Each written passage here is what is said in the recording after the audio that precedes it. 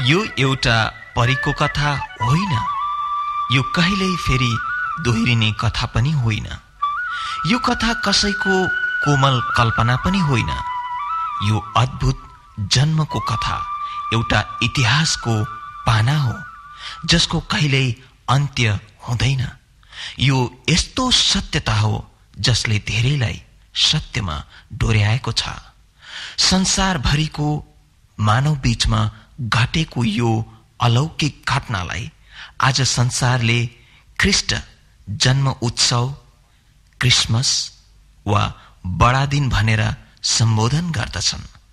आजको दिन विश्वभरि यस संसारको प्रत्येक कुनामा येशु ख्रिस्ट प्रभुको जन्मको सम्झना आफ्नो आफ्नो संस्कृति र परम्परा अनुरूप बडो धुमधामसित मनाउँदैछन्। Santa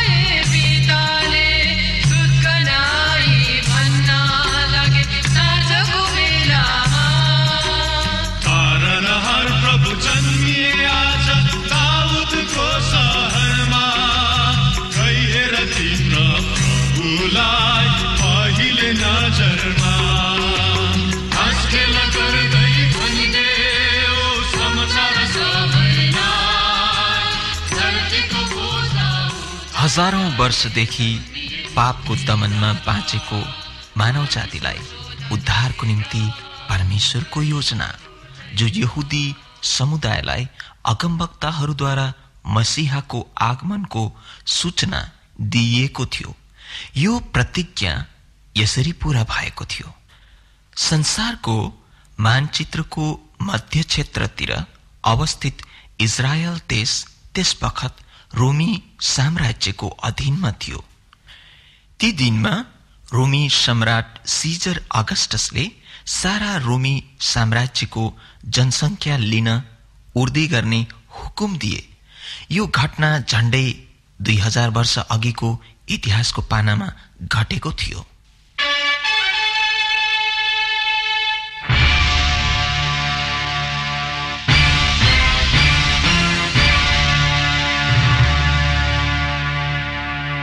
सम्राट सिजर अगस्टसको मौसुफमा यस भेगका जनतालाई आफ्नो आफ्नो पुर्खाको ठाउँमा फर्केर आफ्नो नाउँ लेखाउन हुकुम बक्सेको छ। युसुफ पनि गालिल प्रान्तको नासरतबाट यहुदियाको बेतलेहेम भन्ने दाउदको सहरमा गए किनभने तिनी इजरायलको पुर्ख्यौली राजा दाउदका कुलबा वंशजका थिए। आफूसँगै मगनी भएकी मरियमलाई आफ्नो नाउँ लेखाउन साथमा लगे। तिनी त्यस बखत गर्भवती थिइन्। केही महिना अघि परमेश्वरको एउटा दूत गब्रियलले युसुफसित मग्नी भएकी एउटा कन्या केटी मरियम कहाँ भित्र आएर भने।